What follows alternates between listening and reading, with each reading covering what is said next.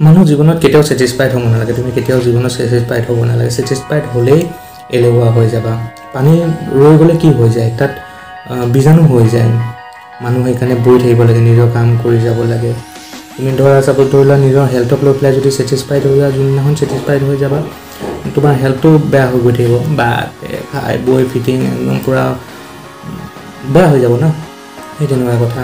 Satisfied কেতিয়াও হ'ব নালাগে। আৰু ধৰি লোৱা তোমাৰ ৰিলেশ্যনশ্বিপটোক লৈ পেলাই কেতিয়াও ছেটিছফাইড হ'ব নালাগে। ভাবিব লাগে যে মই কেনেকৈ আৰু বেটাৰ কৰোঁ সেই ৰিলেশ্যনশ্বিপটো যিদিনাখনে তুমি ছেটিছফাইড হ'বা সেইদিনাখনে তুমি এলেহুৱা হৈ পৰিবা। আৰু মানুহ কেতিয়াও ছেটিছফাইড নহয়। ছেটিছফাইড হৈ গ'লে তোমাৰ সেই নতুন নতুন চেলেঞ্জবিলাক নাহিব কেতিয়াও নাহে ছেটিছফাইড নহ'লে তোমাৰ নতুন নতুন চেলেঞ্জ আহি থাকিব জীৱনলৈ কৰি ভাল লাগিব। আৰু ছেটিছফাইড হৈ গ'লে এলেহুৱা হৈ যাবা কাম বন্ধ হৈ যাব তোমাৰ বিভিন্ন ধৰণৰ। সেইটো ফূৰ্তি নাথাকিব জীৱনত। সেইকাৰণে ছেটিছফাইড নহ'বা কেতিয়াও ছেটিছফাইড নহ'বলৈ শিকা। আৰু মানুহৰ সেইটো আচৰণে মানুহ ছেটিছফাইড কেতিয়াও নহয় আৰু ছেটিছফাইড হ'ব নোৱাৰে মানুহ।